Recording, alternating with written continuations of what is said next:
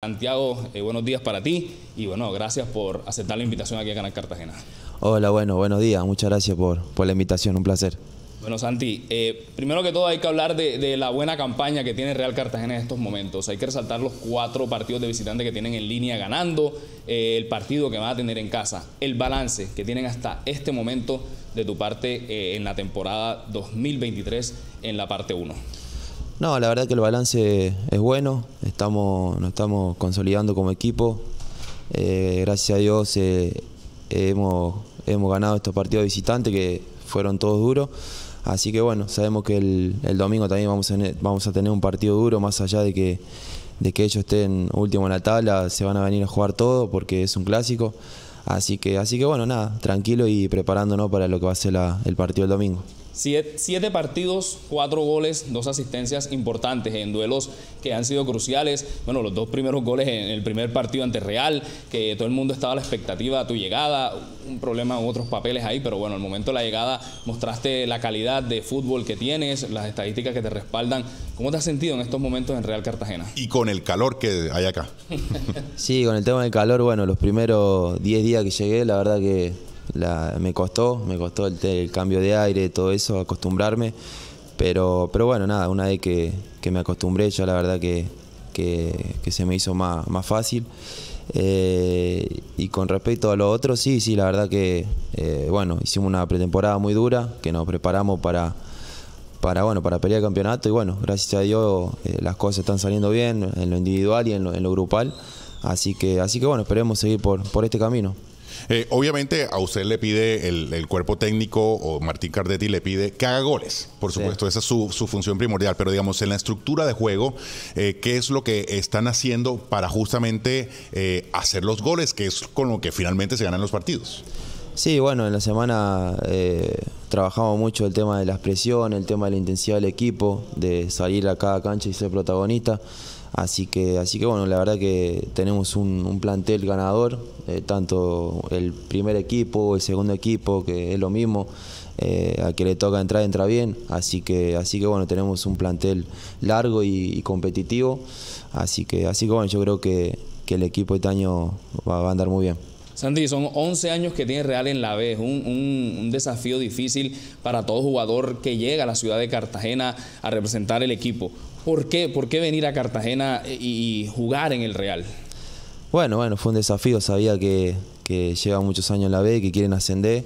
Y bueno, en lo, personal me lo tomé como un desafío. Sabía que, que, bueno, que si yo hago las cosas bien, que si me enfoco en, lo que quiero hacer, eh, eh, la mayoría de las veces eh, las cosas me salen. Así que bueno, esperemos que, que bueno, que, que podamos aportar nuestro granito de arena de lo que hemos venido y, poder eh, subir a, la primera con el Real. Eh, Santiago, ¿cómo calificas tú, digamos, el, nivel, eh, la intensidad de juego de la B en, Colombia respecto a lo que tú ya venías realizando en Argentina?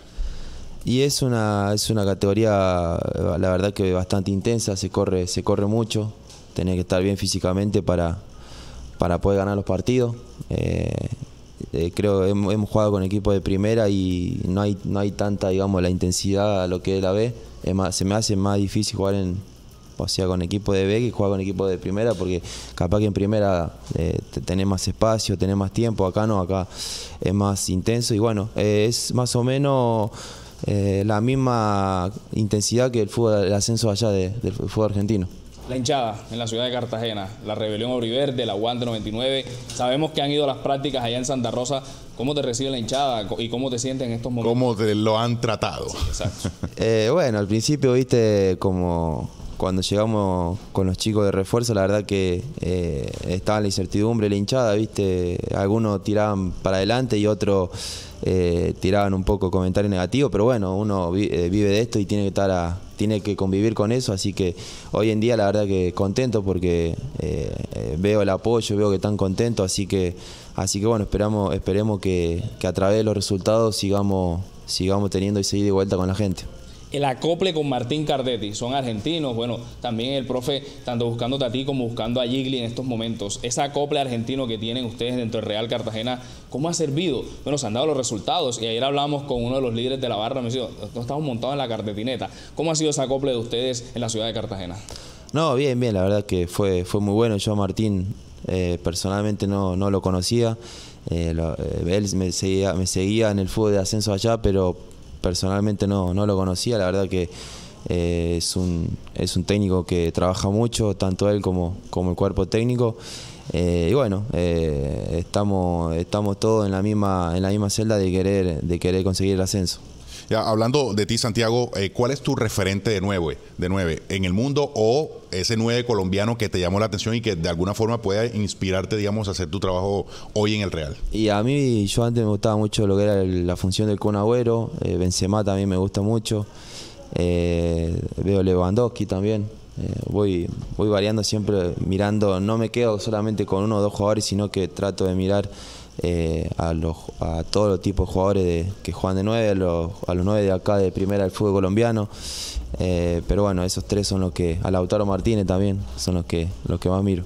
Ya que le tocaste el tema, bueno, Argentina fue campeona del mundo. ¿Cómo viviste la, el campeonato de Argentina? ¿Dónde estabas? ¿Dónde te encontraste? ¿Y, cómo lo celebraste?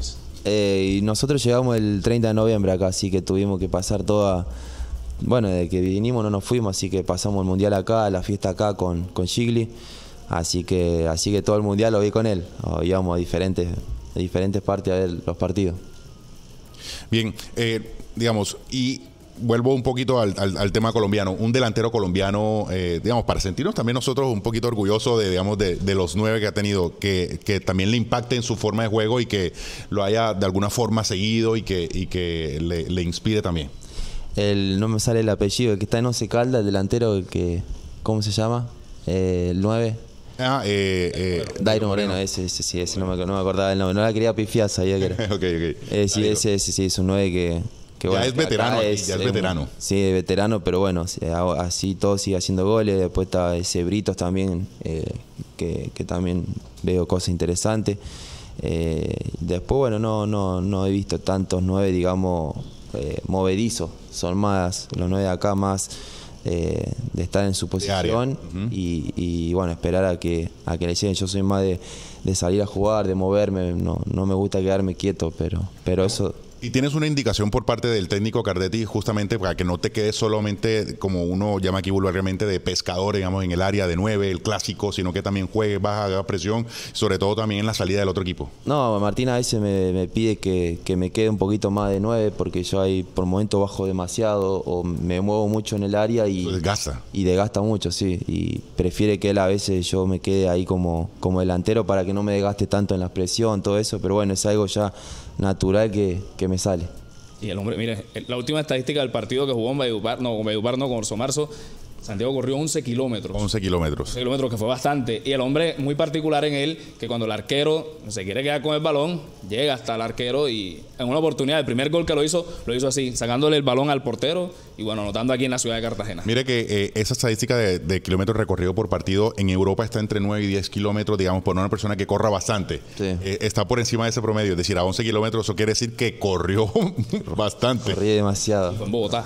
Y fue en Bogotá, ¿cómo le alcanzan los pulmones? Sí, sí, sí, la verdad que los dos partidos de tanto de Bogotá como el último ahora fueron los que los que más corrí. Eh, por ende, bueno, todos mis compañeros están, están corriendo mucho, la verdad que somos, somos un equipo que, que lo que es tema de intensidad, eh, creo que somos uno de los mejores porque corremos en todos los puestos. Voy a salirme un poquito del, eh, voy a salirme un poquito del Real y me voy para otro equipo eh, de la cosa que es el Junior de Barranquilla y que tiene la presencia de un jugador que conocieron mucho en Argentina, me, refiero a, Quintero.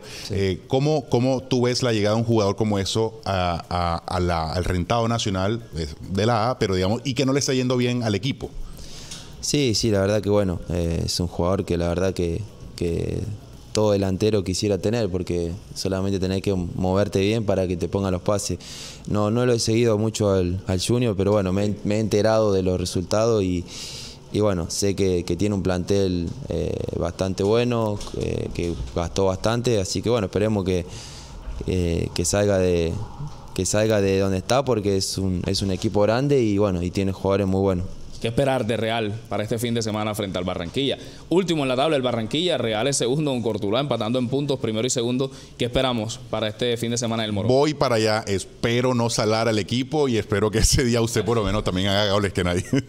Sí, allí. sí, sí, yo creo que bueno, va a ser, va a ser un partido muy duro porque más allá de que bueno de que ellos están tan últimos en la tabla eh, para ellos es un, es un clásico y bueno sabemos que se van a jugar el año con nosotros. Así que ya nos estamos preparando tanto mentalmente como físicamente para afrontar el partido de la mejor manera